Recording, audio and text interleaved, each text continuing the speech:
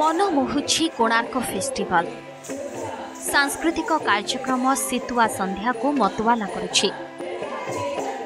ଓଡ଼ିଶୀ ନୃତ୍ୟରେ ଝୁମିଲେ ଦର୍ଶକ ଝୁମିଲା ପୁରା ବେଳାଭୂମି ପ୍ରଥମ ସନ୍ଧ୍ୟାର ପ୍ରଥମାର୍ଦ୍ଧରେ ପଦ୍ମଶ୍ରୀ ମାଧବୀ ମୁଦଗଲ ଓ ତାଙ୍କ ସାଥୀଙ୍କ ଓଡ଼ିଶୀ ନୃତ୍ୟ ଶୈଳୀରେ ନର୍ତ୍ତନ ଗଣେଶ ଦର୍ଶକଙ୍କୁ ଆକର୍ଷିତ କରିଥିଲା ସେହିପରି ଭାସ୍ୱତୀ ମିଶ୍ରଙ୍କ କଥକ ଡ୍ୟାନ୍ସ समस्त मनमुग्ध कर कोविड के दो साल डेढ़ साल सब हम बंद थे और जूम पे ही हमारी क्लासेस चलती थी लेकिन ये जो हमारी कला है वो जब तक ऑडियंस हमारे सामने रसिकगढ़ ना बैठे हों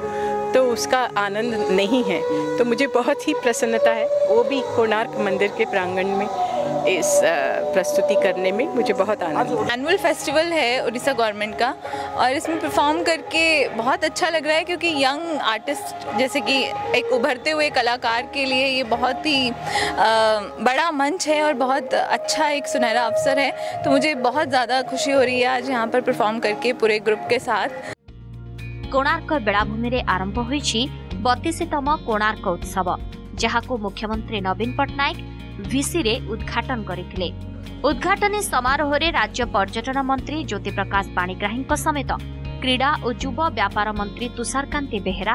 ବିଦ୍ୟାଳୟ ଓ ଗଣଶିକ୍ଷା ମନ୍ତ୍ରୀ ସମୀର ରଞ୍ଜନ ଦାସ ଓ ମୁଖ୍ୟମନ୍ତ୍ରୀଙ୍କ ପରାମର୍ଶଦାତା ଏମ୍ ବାଲକ୍ରିଷ୍ଣନ ଯୋଗଦେଇ କଳାକାରମାନଙ୍କୁ ଉତ୍ସାହିତ କରିଥିଲେ बहुत अच्छा लग रहा है हम लोगों ने उड़ीसी का परफॉर्मेंस देखा वो बहुत अच्छा था